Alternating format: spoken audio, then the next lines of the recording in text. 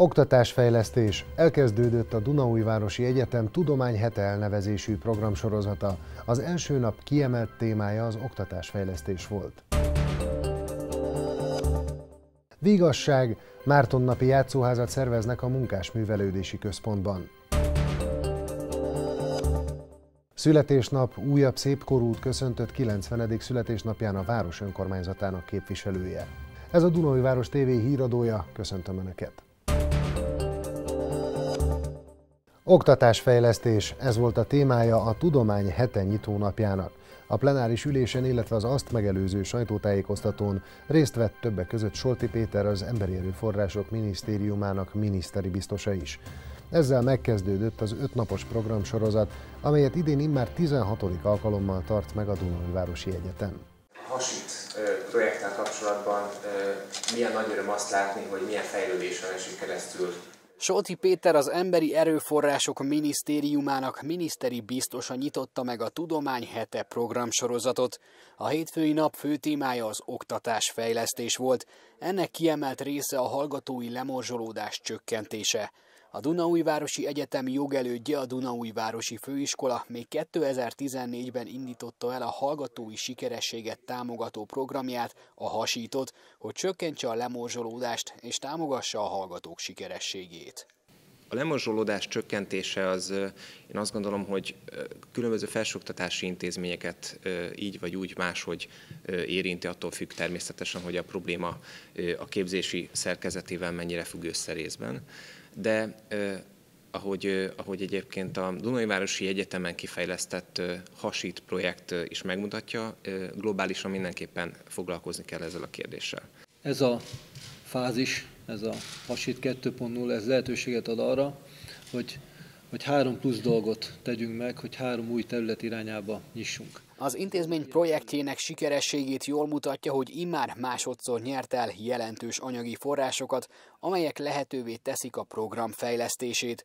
Ennek köszönhetően három új elemmel bővül a hasít, mégpedig a tehetséggondozás, a külföldi hallgatók számára barátságosabb környezet kialakítása, valamint az integrált szakképző program további bővítése. Az egész nagy projektnek mondhatjuk úgy, hogy a digitális lelke az Avatar program. Szabó Csilla Marianna a Hasít projektmenedzsere a program egyik legnagyobb újításáról, az Avatar rendszerről beszélt. Ennek lényege, hogy minden hallgató saját Neptun azonosítójával léphet be a rendszerbe, itt beállíthatja a neki tetsző avatar figurát, a hallgató így folyamatos tájékoztatást kap a tanulmányi haladásáról és határidős feladatairól. Hogy mire is szolgál ez a program?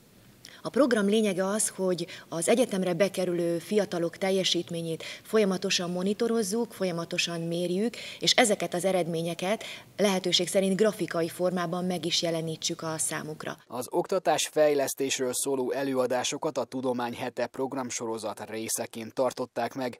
A szombatig tartó rendezvényen lesz pályaválasztási nyílt nap, Lego robotépítő verseny, valamint idén is megtartják a kutatók éjszakáját ezt mi nem tudjuk.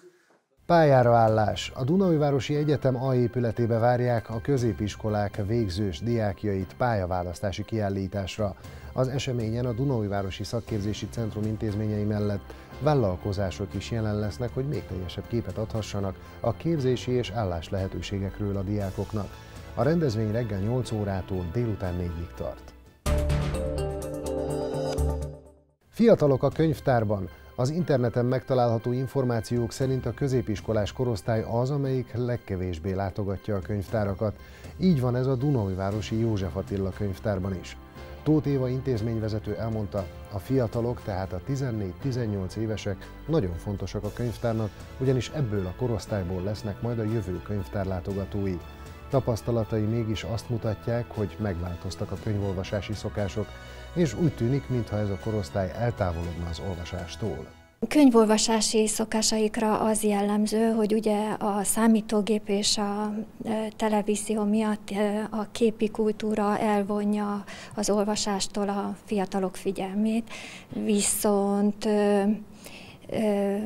új műfajok is megjelentek a könyvek között, amik meg kifejezetten ez, ezeknek a korosztályoknak az igényeit szolgálja. Így a fantasy műfajok, amiket jellemzően szeretnek a fiatalok, és ennek ö, elég széles skálája van egészen a dark fantasy-tól a romantikusig, aztán ide tartoznak. Hát az Kifinek az utódjai. A fiatalok olvasási hajlandóságát ösztönözve kialakítottak egy tinédzser polcot a felnőtt könyvtárban, ahol könyvsorozatok, az úgynevezett piros pöttyös könyvek várják őket. Emellett számos más könyvtári programmal is próbálják visszacsábítani ezt a korosztályt az intézménybe. Márton napi játszóház. Márton nap alkalmából a Munkás Művelődési Központ játszóházába várják a legkisebb városlakókat. A tavalyi év eredményes rendezvényét követően idén ismét megrendezik a Ludas Matyi választást az intézményben. A legeredményesebben teljesítő gyerek az oklevél mellett egy évig viselheti a Munkásművelődési Központ Ludas Matyi címet. Ehhez azonban számos próbát ki kell állniuk az indulóknak. Több állomásos vetélkedő, Ugye tavaly évben nagy sikere volt ennek a Ludas Matyi választásnak, ügyességi és észbeli képességeket is latba vetünk, ez alapján fogjuk megválasztani a Munkásföldési Központ Ludas Matyiját. A rendezvényt november 12-én délután tartják 15 óra és 17 óra 30 perc között. A Márton napi játszóház mindenki számára díjmentesen látogatható. Magyar Opera Napja 2013 óta minden évben november 7-én ünnepeljük a Magyar Opera Napját. 1810-ben ezen a napon született ugyanis Erkel Ferenc zeneszerző, karmester, akinek a nevéhez fűződik a Magyar Nemzeti Opera megteremtése. Erkel Ferenc 1844-ben megnyerte Kölcsei Ferenc himnuszának megzenésítésére kiírt pályázatot. Nevéhez fűződik a Bang Bang című opera is, amit pályájának csúcsaként tart számon a közvélemény. 1875-ben közreműködött a Zeneakadémia megalapításában is, amit aztán tíz évig igazgatott, majd 1884-ben megnyílt Operaház főigazgatójaként tevékenykedett. A Magyar Opera napja alkalmából idén is átadták a Magyar Állami Operaház legrangosabb kitüntetését, a Mesterművész címet, amit Hágai Katalin és Wolf Katalin balettművészek, valamint Kovács János karmester vehetett át. A Zeneakadémia saját halottjának tekinti Kocsis Zoltán kétszeres Kossuth és Liszt Ferenc díjas karmestert, zongoraművészt és zeneszerzőt. Három éves korában kezdett zongorázni, szinte a hangszer mellett nőtt fel. Ezt mutatja az is, hogy a Liszt Ferenc Zeneművészeti Főiskola zongora szakán szerzett diplomát. 21 éves korában már Liszt Ferenc kitüntetést kapott, 25 évesen Kossuth díjat adományoztak neki. Ezt a kitüntetést 2005-ben másodszor is megkapta. A Nemzeti Filharmonikus Zenekart 1997 óta vezette. Kocsis Zoltán október közepén mondta le külföldi hangverseny körútjait és hazai fellépéseinek jelentős részét.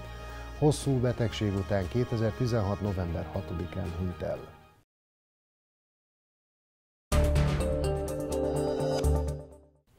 Lehetőség. Idén is megrendezi a Városháza téren az Adventi Forgatak programsorozatát a Turinform iroda amely a Dunaújváros Alapítói Egyesülettel közösen külön sátrat állít fel, ahová jelentkezőket várnak. Ebben a sátorban a vállalkozók mellett olyan magánszemélyek is árusíthatnak, akiknek nincs vállalkozói engedélye nem rendelkeznek vállalkozói engedéllyel, de nagyon ügyesek és kreatívak, és kézimunkákat csináljuk, mondjuk a nagymama sapkát köt, vagy a Józsi bácsi fafaragást csinál, illetve a fiatal otthon lévő kismamák is gyönyörű dolgokat, dobozokat és karácsonyfadiszeket készítenek, ezek is értékesíteni tudják a saját termékeiket.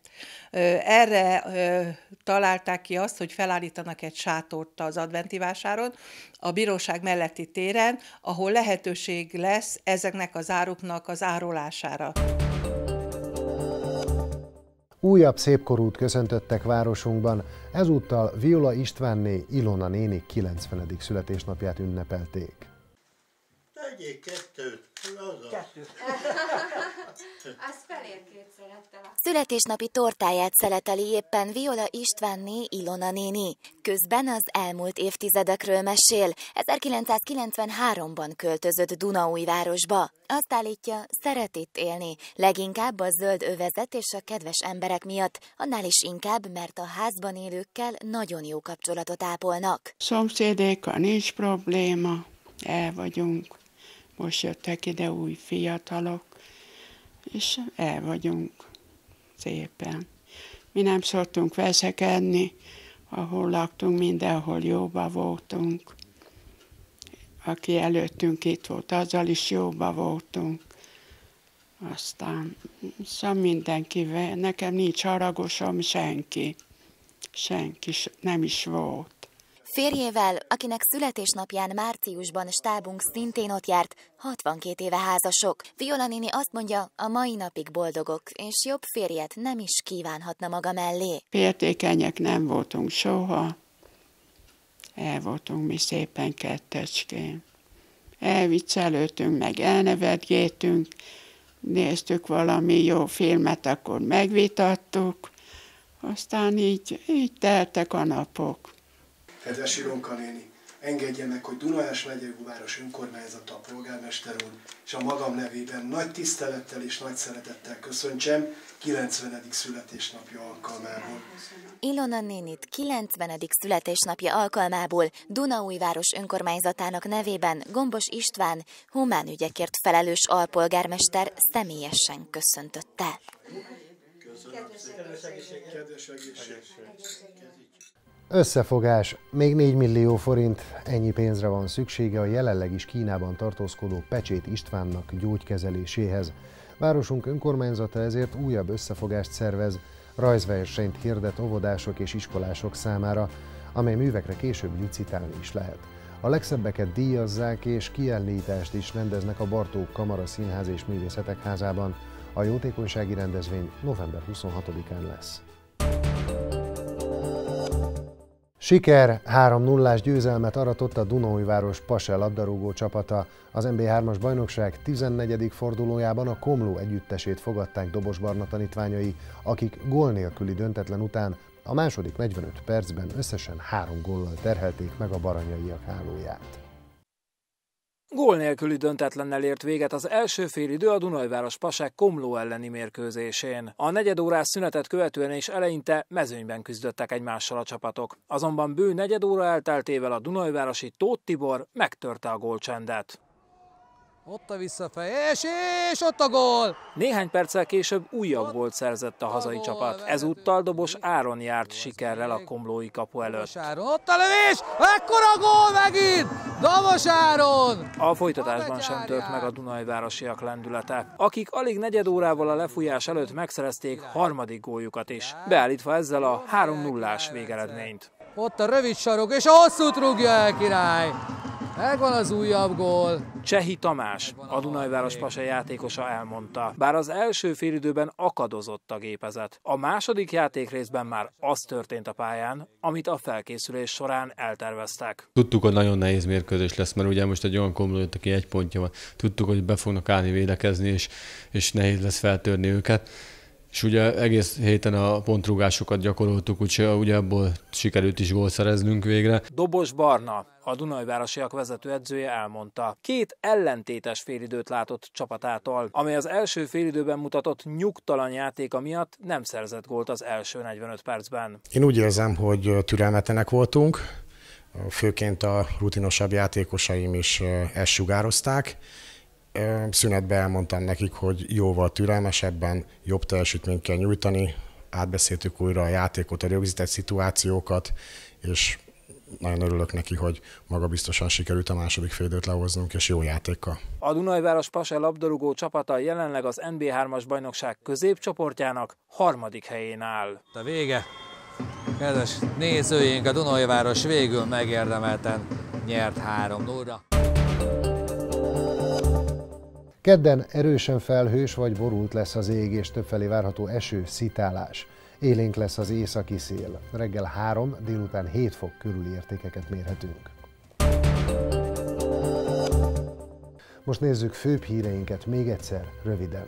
Oktatásfejlesztés. Elkezdődött a Dunaújvárosi Egyetem Tudomány Hete elnevezésű programsorozata. Az első nap kiemelt témája az oktatásfejlesztés volt. Vigasság. Márton napi játszóházat szerveznek a Munkásművelődési Központban.